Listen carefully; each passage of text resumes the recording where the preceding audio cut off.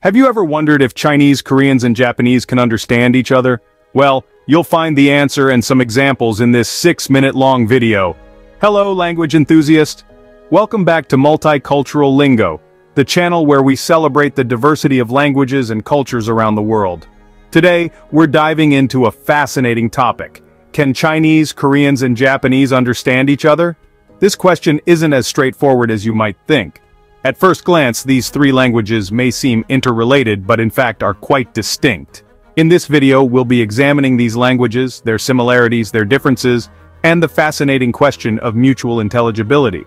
Let's start with Chinese so that we can then compare it with the two other languages. Chinese is a fascinating and intricate language, with its own unique quirks and characteristics. One of these is its writing system. Unlike alphabetic languages, Chinese uses characters, each representing a word or a concept. Unlike English and European languages, you cannot know how to pronounce a word by reading the letters in it. In Chinese, you have to know the character to pronounce it. These characters can be written in either simplified or traditional forms. Simplified characters are used in mainland China, while the traditional ones are more complex and used in Hong Kong and Taiwan. To make up for the complex writing system, the Chinese language has a rather straightforward, easy grammar. There's no need to worry about verb conjugations or tenses here, as these concepts don't exist in the traditional sense. Word order is key, and context often provides the necessary cues to understand the meaning. But perhaps one of the most intriguing aspects of Chinese is its tonal nature. In English and other languages we use tone to express emotions, feelings. In Chinese, however, tone can completely change the meaning of a word. For example, the word ma can mean mother, horse, hemp, or scold, depending on which of the four tones you use. It's like a linguistic roller coaster, where the slightest shift in pitch can take you to a completely different destination. And don't even get me started on Cantonese Chinese, which has at least six different tones. Please remember these three aspects because they are really important to answer the question we started this video with. Now, let's turn our attention to the language of the rising sun, Japanese. Japanese is a fascinating language with its own set of intricacies. It uses three different writing systems, hiragana, katakana, and kanji. Hiragana is the most common, used for native Japanese words and grammatical elements. Katakana, with its angular lines, is used primarily for foreign words and names, as well as onomatopoeic expressions. Both hiragana and katakana may look like characters, but are actually syllabic alphabets of 47 characters, each of which represents a sound. You can learn it and know how to pronounce words, just as we do with letters.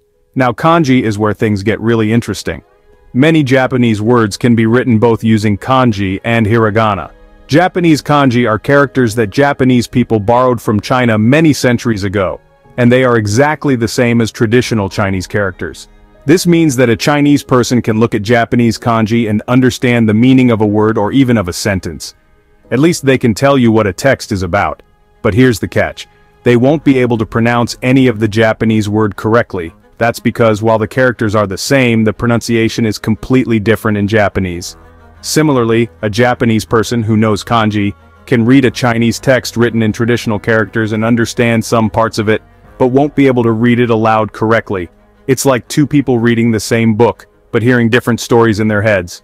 Japanese is not a tonal language. It's easier to pronounce and read if you know the hiragana alphabet. However, this language has a very complex grammar and the formality of the language changes based on who you're speaking to, making it even harder.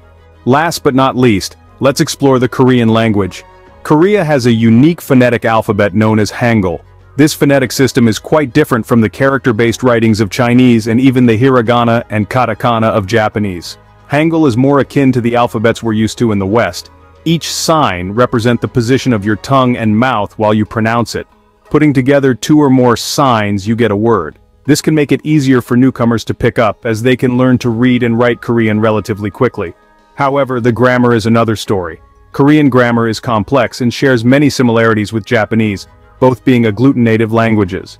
They use particles to indicate relationships between words, and the verb typically comes at the end of the sentence. This means that for Japanese people, Korean languages is easier to learn because it has a very similar structure. Of course, the opposite is also true, but don't be fooled. Despite these similarities, the Korean language has its own unique pronunciations and rules. Also, many centuries ago, Koreans used the Hanja writing system, based on Chinese characters. although Chinese characters continue to have some limited use in the modern language, especially in academic, historical, and religious contexts. So, while you might find some commonalities with Japanese, Korean is truly its own entity. Its phonetic alphabet, combined with its complex grammar, makes it a fascinating language to study.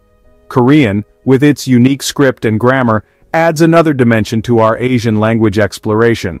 So, let's give an answer to our question. Can Chinese, Koreans, and Japanese understand each other? No, they can't.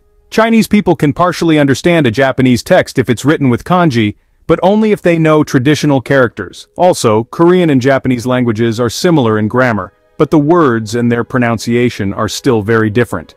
It's clear that these languages, while sharing some common threads, are distinct in their own ways. From the shared Chinese characters in Japanese kanji to the similar grammatical structures between Korean and Japanese, these languages reflect the interconnected histories of these nations. Yet, it's important to remember that despite these similarities, each language is a unique entity, deeply rooted in its own culture and identity. Thanks for joining us on this linguistic journey. If you enjoyed this video, don't forget to give it a thumbs up and subscribe to Multicultural Lingo for more explorations of language and culture from around the world. Until next time, happy language learning.